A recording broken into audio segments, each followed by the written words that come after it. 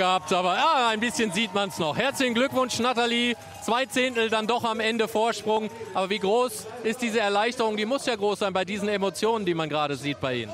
Ja, wahnsinnig groß. Ich hatte ein Ziel, das war hier zu Hause gewinnen zu können. Das ist nach den Olympischen Spielen, dem, also dem Olympiatitel, es, es ist so geil, hier zu Hause einfach diese Möglichkeit zu haben. Und oh Gott, oh Gott.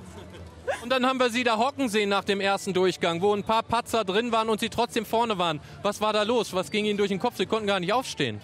Ja, ich war einfach, ich glaube, ich habe den Druck einfach unterschätzt. Ich habe mir so viel, ja, selber so viel Druck gemacht vor dem Lauf und ich bin so schlecht gefahren, wie ich eigentlich, ja, wirklich die ganze Woche überhaupt nie gefahren bin. Und ja, war dann eigentlich fix und fertig, weil ich dachte, hey, du kannst es doch, zeig's doch einfach. Und ich habe es aber einfach nicht hingekriegt. Und ja, dann habe ich wirklich im zweiten Lauf einfach versucht, Spaß zu haben. Spaß zu haben, bei der Kulisse da nochmal runterfahren zu dürfen. Und ja, es ist ja ganz gut ausgegangen. Allerdings, das kann man sagen. Es gab eine sehr herzliche Umarmung mit Martina Kocher. Erklären Sie das.